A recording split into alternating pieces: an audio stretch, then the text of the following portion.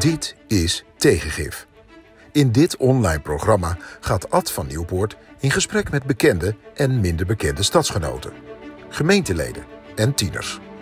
Over hoe zij de tijd waarin ze leven ervaren. Tegengif gaat over hoe wij elkaar hoop en inspiratie kunnen bieden. In deze moeilijke, verwarrende, maar soms ook bemoedigende tijden. Edi Korthals-Altes, uh, zeer welkom in onze serie Tegengif. Het is een voorrecht om u hier in deze serie te mogen ontvangen en te spreken. Te meer ook omdat u in maart bent uitgeroepen um, uh, als Vredesheld 2021. Uh, een heel bijzonder gebeuren, ook op uw leeftijd, met een prachtig woord van onze burgemeester Jan van Zanen. Nog van harte gefeliciteerd daarvoor. Wat betekent die nominatie voor u? Dat betekent heel veel, omdat uh, uh, ja, het eigenlijk de aandacht vestigt op de grote betekenis van vrede in deze tijd. In deze tijd waarin zo'n massieve voorbereiding op oorlog is en zoveel conflicten zijn, is de aandacht voor vrede buitengewoon belangrijk. En ik ben niet meer dan een van de vele fakkeldragers uh, voor vrede. Voel me sterk verbonden met de organisaties die mij hebben voorgedragen. Ja, want het is natuurlijk wel ook een, een, een, punt, dat is een rode lijn in uw leven geworden sinds 19, wat is het, 1984 eigenlijk, hè, ja. dat, u, dat ja. u daar zich zo voor, voor in hebt gezet. Um, tegelijkertijd is het ook, uh, wat, wat zo opmerkelijk is aan deze thematiek, is natuurlijk dat we ons allemaal heel erg druk maken over het klimaat. En het eigenlijk voortdurend ook gaat, naast die coronacrisis, over de klimaatcrisis. En u zegt er is eigenlijk nog een, wat, een veel grotere crisis die ons dreigt. En dat is toch de crisis van de wapenwetloop, die weer enorm in opgang is. Ja, ja. de dominee heeft inderdaad de vinger op de wonderplek gelegd. Uh, er is volstrekt onvoldoende aandacht uh, voor de ernstige bedreiging van de mensheid. Hm. De, de, hele gedachte aan de kernwapens, aan een groot conflict, is eigenlijk helemaal weggezakt. Ja. En dat is een, een, een, een heel groot gevaar. Wat nu nodig is, is dat mensen en vooral ook van de, de kerken en religies en andere groeperingen, uh, dat die meehelpen aan de bewustwording van de dreigingen, de grote dreigingen van de mensheid, waarvan de eerste dreiging is de vernietiging van onze hele aarde, vernietiging ja. van de mensheid. Ja.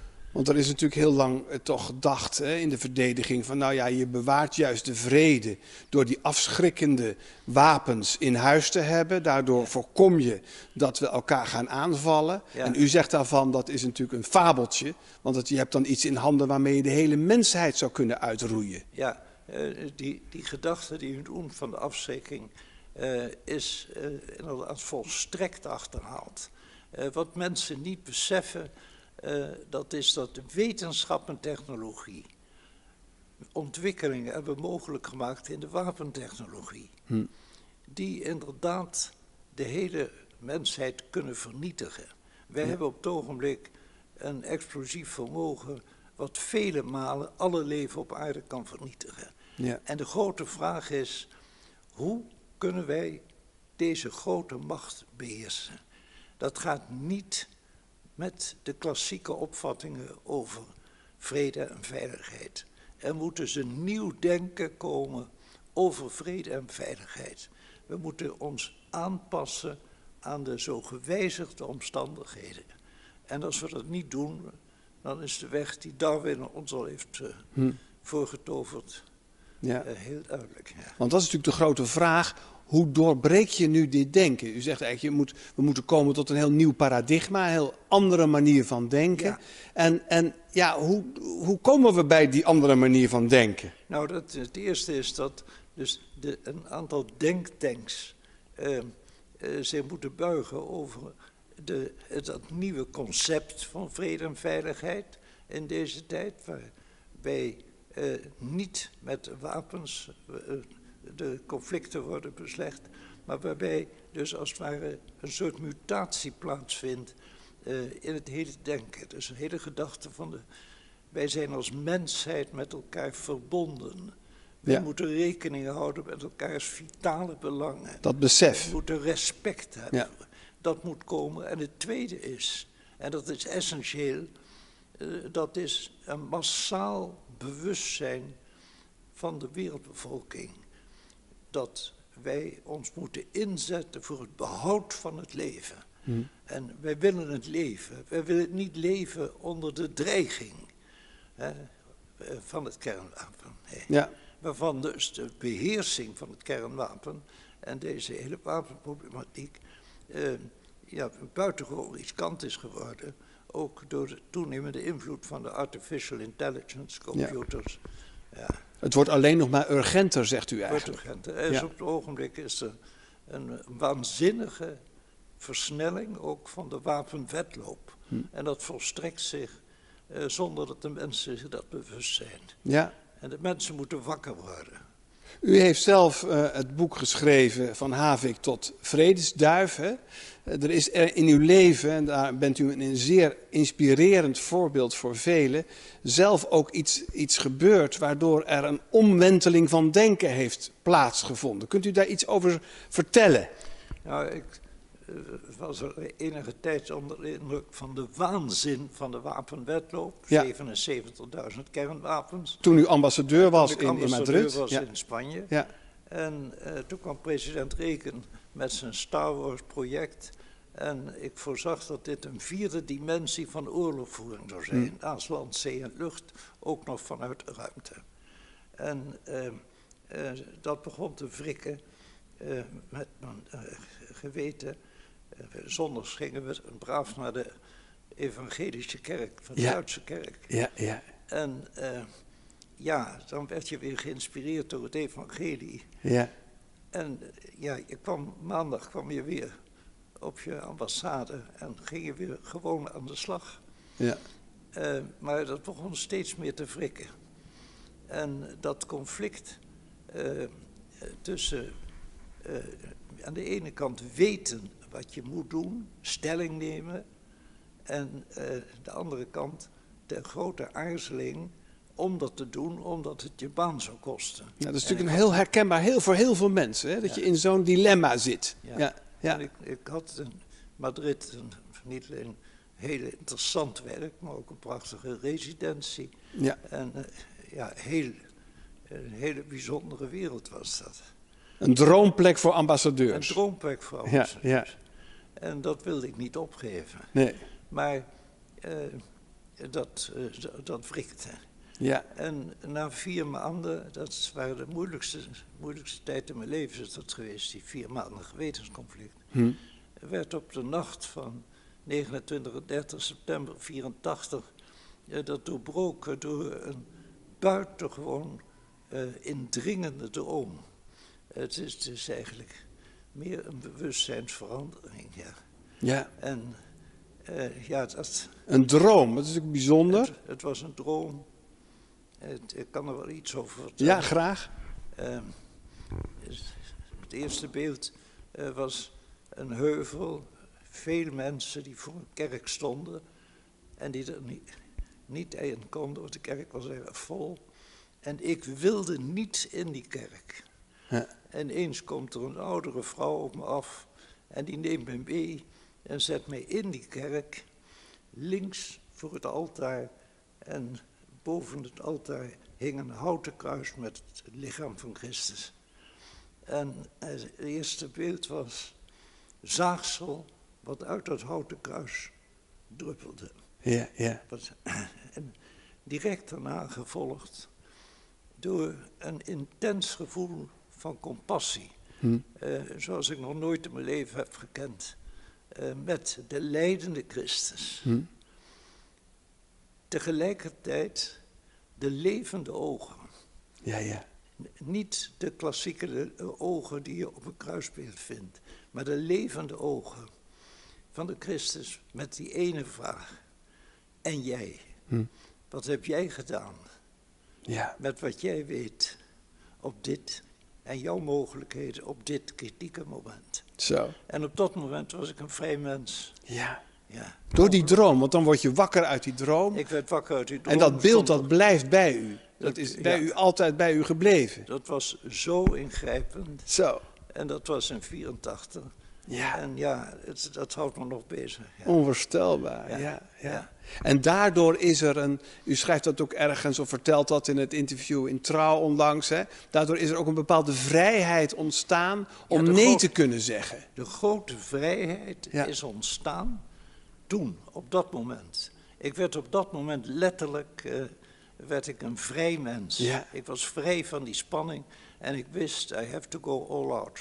Ja. En eh, ja, dat is... eh, Maar dat betekende wel het einde van uw eh, ja, eh, buitenlandse dienst. ja, dat wist ik. Ja. Dat wist ik. En hoe was dat, dat dat dan ineens ophield? dat was niet leuk. Nee.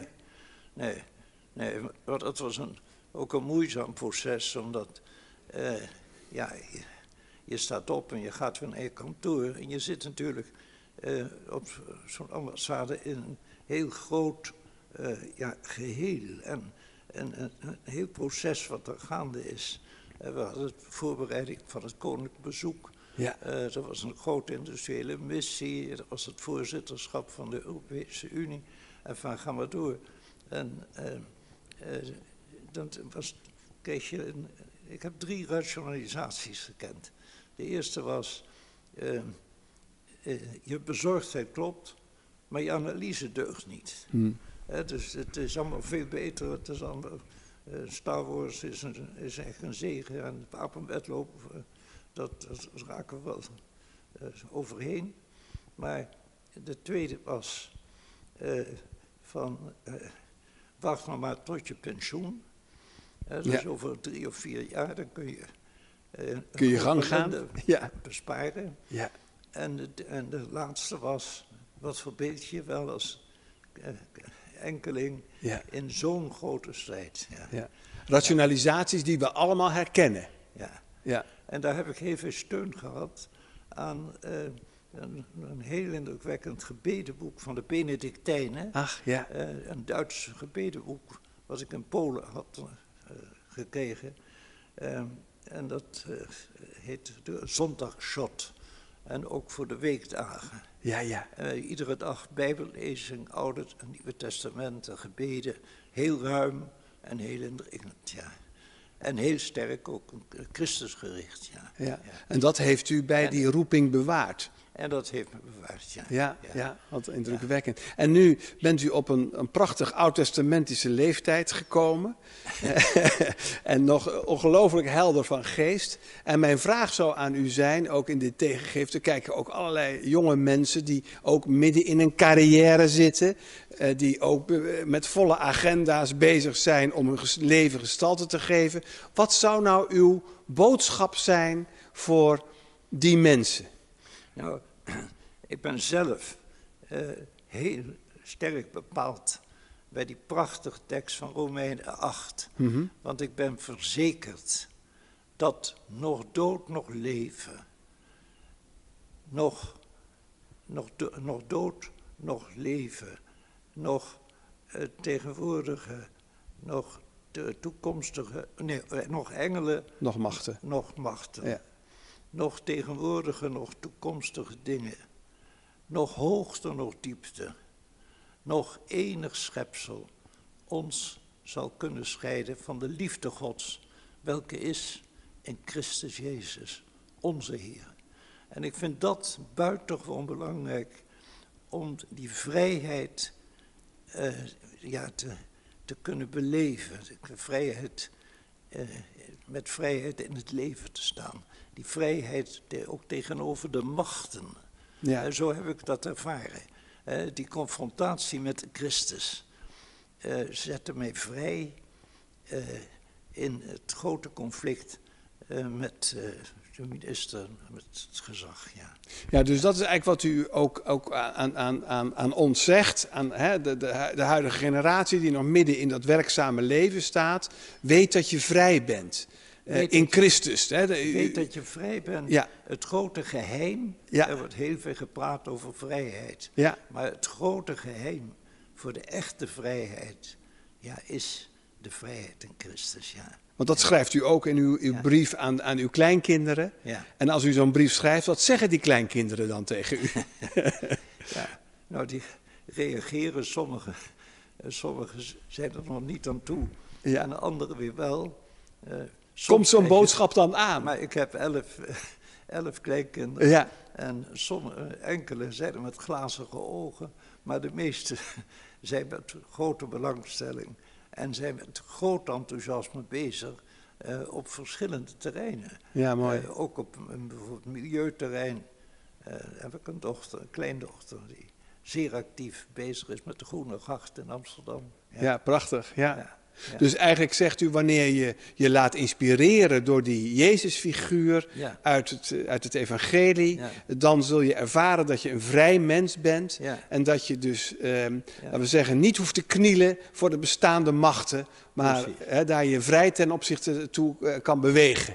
Dat is eigenlijk wat u zegt. En wat ook heel belangrijk is om te beseffen, uh, dat het geraakt worden door de Christus uh, bevrijdt je ook uit de ik-gerichte Ja. houding. Ja. Hè? We, we zijn eigenlijk van nature een beetje als, als garnalen naar binnen gekromd. Gekromd naar binnen. Ja, mooi en beeld. de ja. Christus maakt je vrij. Ja, prachtig. Dat je eruit kan breken uit dat, uit dat kleine kokonnetje waarin we allemaal zitten. Ja, Dat heb ik ook geprobeerd in het- mijn boek. ja Eh, precies. Het, het schilderij van Tintoretto. Heel indrukwekkend. Ik heb Ja. het net gelezen. Ja. Ja. Ik dank u zeer voor deze inspirerende boodschap. En voor wat u ook deze dagen nog eh, betekent voor zoveel. Ja. In, eh, in, in, eh, in uw omgeving en, eh, en verder. Ik dank u zeer.